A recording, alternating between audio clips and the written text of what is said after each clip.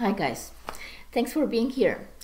Today I'll be talking about how trichoscopy can help in choosing the right treatment for your patient with alopecia areata. Let's go. This patient comes to your office and asks, Doctor, will my hair regrow? What can you say as a doctor? We do not really have tools in medicine to predict whether or not the hair will regrow in a patient with alopecia areata.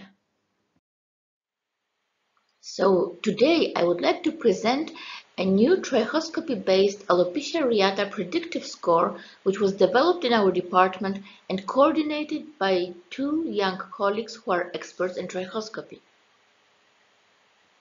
This system requires a quite deep knowledge about the trichoscopy of alopecia areata. I made a separate recording on this. However, I will summarize very shortly the most typical finding in alopecia areata are the exclamation mark hairs. When they break off, what will be left will be the black dots. If an exclamation mark hair grows very long, then this will be a tapered hair. So this a tapered hair is basically a very long exclamation mark hair.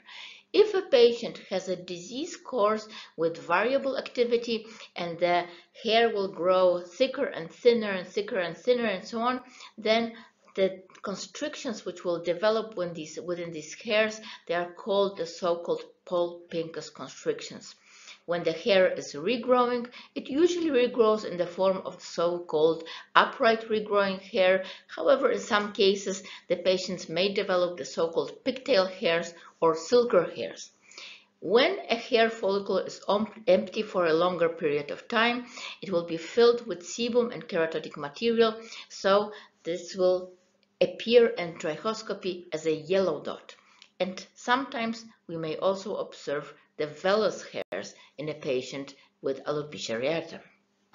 Our study has shown that the trichoscopy findings at the moment when the patient is starting therapy, they have no predictive value for hair regrowth. What is important are the trichoscopy findings after approximately two months after starting therapy and these findings may be helpful in predicting what will happen down the road and whether the patient will have hair regrowth and whether he or she will have hair six months after starting therapy. This method is based on trichoscopy of the hair-bearing margin of the most recent patch and it has to be, form, be performed two months after starting therapy or later. In the trichoscopy examination, there are some features which have a positive predictive value and some of them have a negative predictive value. On the left part of the slide, you see the negative uh, features features which have a negative predictive value. These are the exclamation mark hairs, the tapered hairs, the black dots, and the broken hairs.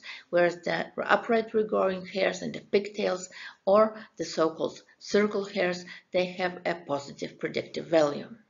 Based on the trichoscopy results and the presence or absence of these factors, we can predict the probability of hair regrowth in a patient. And this table shows why this is important because if in trichoscopy we have, for example, two positive features, this means the probability of hair regrowth is almost 100%. This means that this is probably not a good moment to think about changing therapy. However, if we have minus two points or minus three points, then the probability of hair regrowth is less than 1%.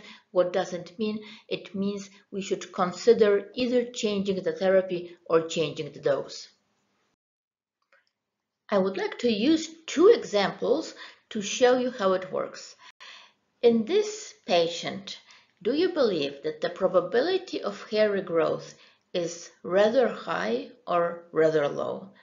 If you like, you can post your guess on the card which is on the slide. Well, let's look at the predictive markers. The negative predictive markers, the exclamation mark hairs, the tapered hairs, the black dots, and the broken hairs.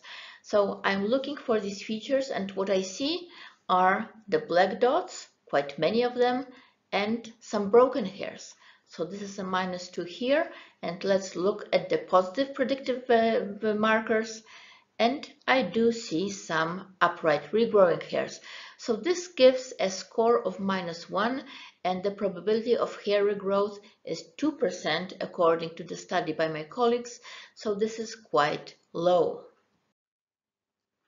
This is another example, also an image taken two months after begin of therapy. And also here you can post your guess whether you believe whether the probability of hair regrowth is rather high or rather low in this patient. And I'll go together with you through the markers. On the negative side, side, I do not see any exclamation mark hairs, I do not see tapered hairs, black dots or broken hairs. But looking at the positive side, I do see some upright regrowing hairs and some pigtail hairs. So this gives us a score of 2. This means that the probability of hair regrowth in this patient is 98%. So those of us who voted for high are correct. So in this patient, probably a change of therapy is not needed, at least at this moment. This is a summary of the positive and negative predictive markers in trichoscopy of alopecia areata. However, I would like to draw your attention to one thing. This is that I believe that the system works best in patchy alopecia areata. It is not really useful for alopecia totalis or alopecia universalis. I have put into this table some markers which may be of some usefulness in these patients. However, the score does not apply to patients with alopecia universalis or alopecia totalis. If you would like to Google for some more details, here are the articles for both patchy alopecia and alopecia totalis and universalis. So I'm doing this presentation to show that trichoscopy at the beginning, before starting therapy, has no or almost no predictive value for hair regrowth after treatment. There are some exceptions. There are factors which may influence the course of treatment, but as a general rule, whether the patient has some hair in trichoscopy at the beginning or only yellow dots, this does not influence the course of treatment and the outcome of treatment. There's a discussion going on whether or not vellus hairs, the thin and fine hypopigmented hairs, whether they predict hair regrowth and specifically whether they can transform into terminal hairs. And our study shows that the regrowth of vellus hairs has no predictive value. So some patients with the regrowth of vellus hairs will lose their vellus hairs and they have no regrowth, while others will go on to full hair regrowth.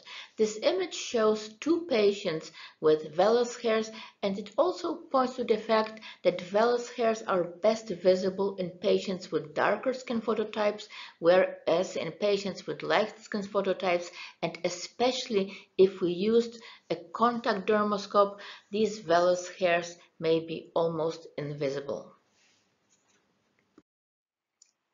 So in summary, we perform trichoscopy at the beginning before therapy to make sure that we have the correct diagnosis and also sometimes it may be helpful for the management of patients with alopecia areata. But it is useful to perform another trichoscopy examination after two months because it has a predictive value for regrowth.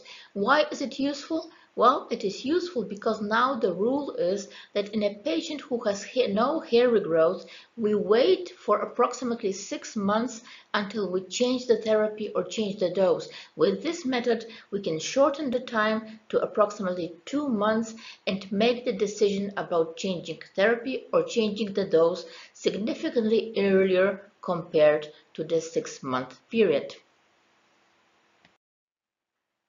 With this, I would like to thank you a lot for being here. Thanks for all the subscriptions.